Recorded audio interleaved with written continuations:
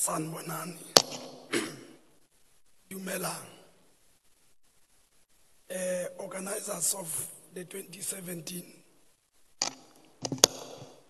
Mine Indaba, the managing director, and our program director, Ms. Alex Cruz, my colleagues, cabinet ministers, I have seen Minister Radebe, Minister in the Presidency, Deputy Ministers of the Republic of South Africa, Africa and across the globe here present. No, that's okay. Thank you. The Deputy Minister of Mineral Resources, Honorable Godfrey Oliphant, Chairperson of the Portfolio Committee and Select Committee on Mineral Resources in Parliament, Honorable Luz- Luzipo and Honorable Olifile Sefako. Leaders of organized labor, captains of the industry, and members of the investment community representatives of civil society and communities, members of diplomatic corps, distinguished guests, our, our media, ladies and gentlemen.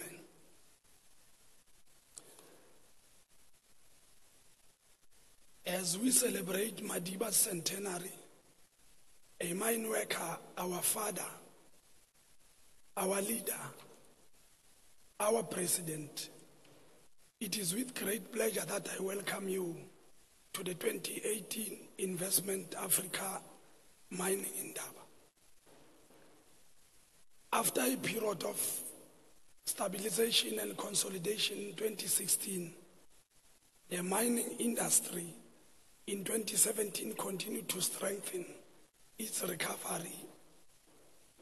A rising commodity prices supported increased market capitalizations and upward trends in key activities such as exploration, financing, as well as mergers and acquisitions.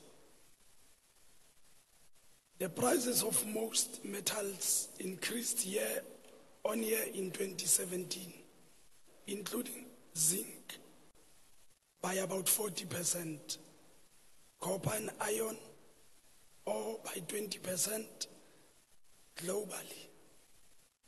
The recovery is expected to continue in the short to medium term, supporting commodity prices and demand.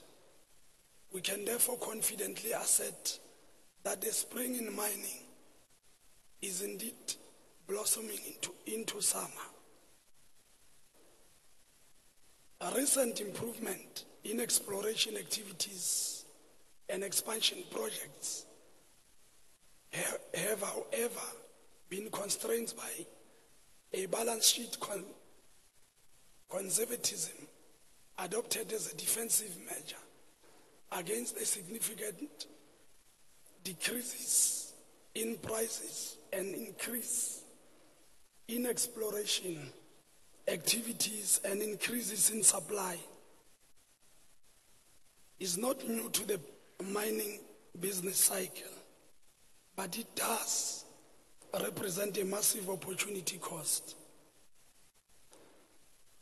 We thus wish to congratulate all investors and miners who have who had the foresight and fortitude to continue exploration and development programs and who, who are poised to be the biggest winner in the upswing.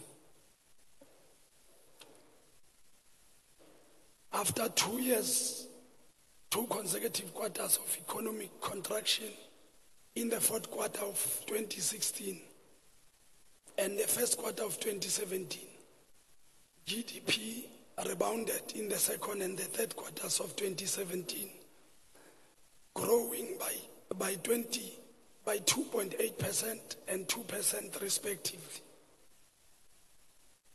This expansion has helped allay fears of sustained economic recession and was driven in no small part by growth in the mining sector, which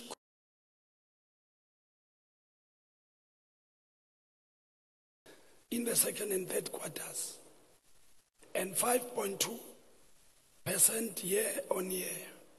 In fact, the mining industry was responsible for not less than 2% of the growth in the period. In the mining sector, the greatest contributors to this growth were the metals, including copper, iron, iron ore, and PGMs. Unemployment remains a concern in South Africa. And in 2017, it reached 27.7%, while the industry did, did not breach the half a million mark in employment. It did register a modest growth. We have over 220 billion rand worth of investment in the project pipeline, which includes PGMs, industrial minerals, energy, and non-ferro metals, demonstrating that South Africa remains a critical investment destination. We have beautiful reserves of platinum, ferrous, non-ferrous metals, or, and all crucial for industrialization. Following the successful hosting of the 35th International Geological Con- Congress in September of 2016, I announced to this audience last year an initiative to maintain the momentum of interest in the geology and exploration investment in South Africa. The 20 billion rand 10 year in intensive mapping program headed by our Council for Geoscience is proceeding well. We, we are on track to have multidisciplinary integrated mapping platforms that constitutes all aspects of the geosciences field whose pillars are geophysics, remote sensing, physical mapping, engineering geology, struct- structural geology, geochemistry, and seismology by 2026. In the past year, we have doubled coverage of the country at the scale of 1 to 50,000 from 5% to 10%. At the same time, in excess of 40,000 geochemistry samples were collected last year. Whilst high intensity geophysics program is also advancing well. With the current drought conditions currently experienced in the Western Cape, it is indeed most welcome that through our entity, the Council for Geoscience, we have discovered clean drinking groundwater in Beaufort West.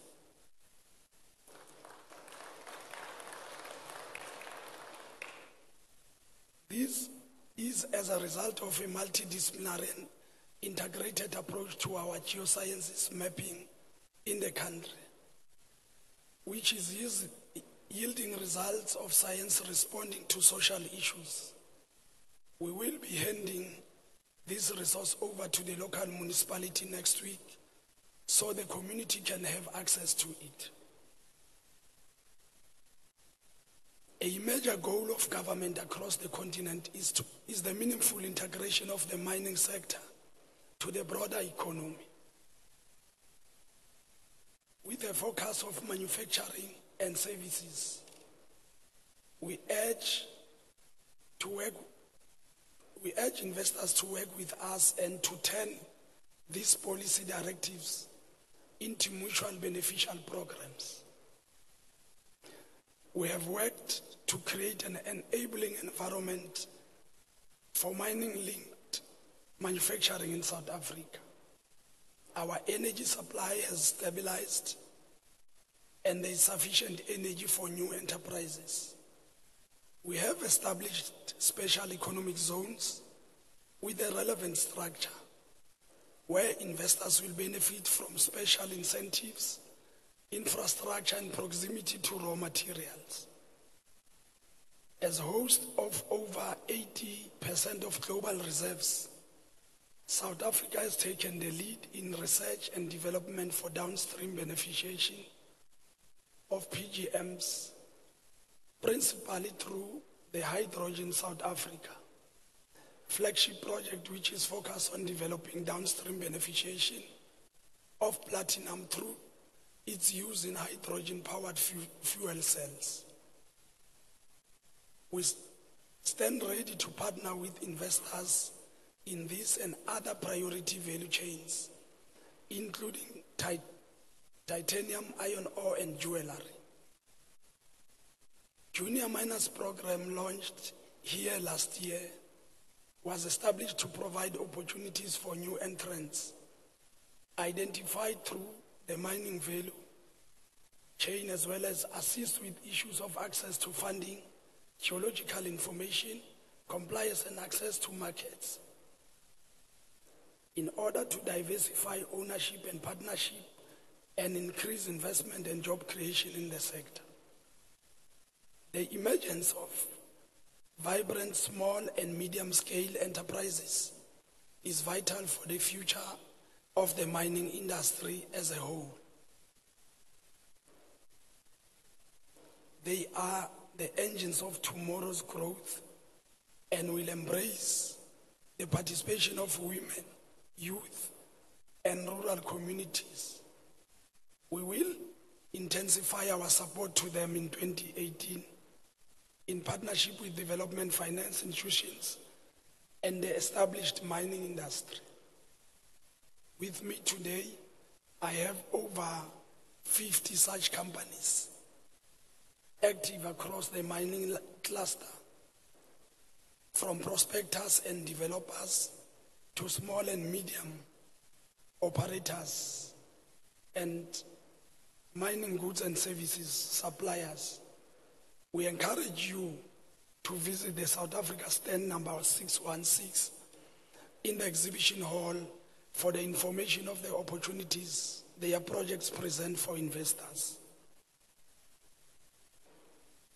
Let me take this opportunity to invite you to participate at this year's biannual Mine, Health and Safety Mine Summit to be held in November, as this will provide a reflection and refinement of strategies and knowledge sharing towards meeting our target of achieving zero harm as an industry by 2024.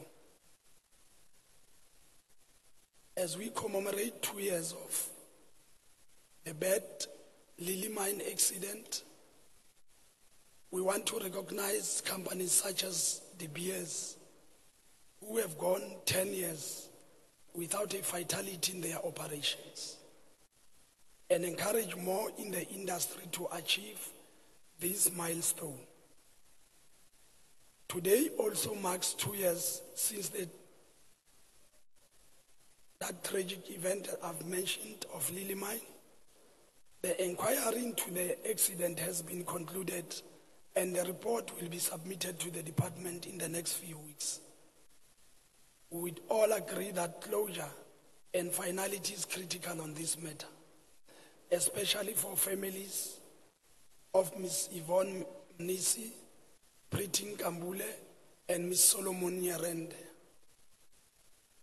We expect all stakeholders to ensure compliance with the laws of the land as it is all in our best interest to have an orderly development of the industry.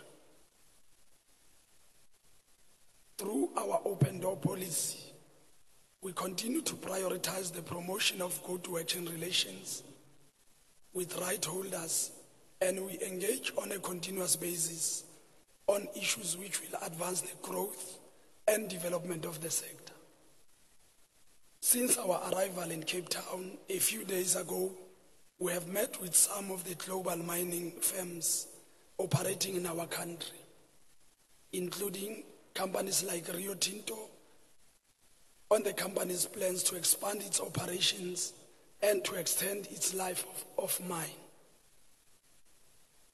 With a potential investment to the tune of 450 million US dollars. The company has also demonstrated its willingness to align with government policies by exceeding the targets we have set for the empowerment and transformation. We also received an update on the Venetia underground project from DBS, an investment estimated at 2 billion US dollars, which is extending the life of a mine to beyond 2040.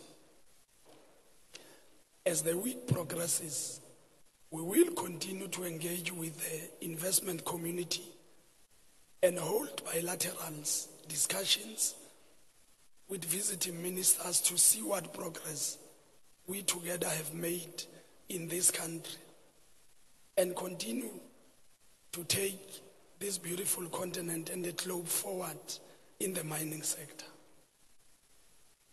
In conclusion, may I request you to join us as we continue the conversation on the, on the mining at the questions and answer session that we'll be hosting at 2 p.m. this afternoon in stage C on, a, on the exhibition floor.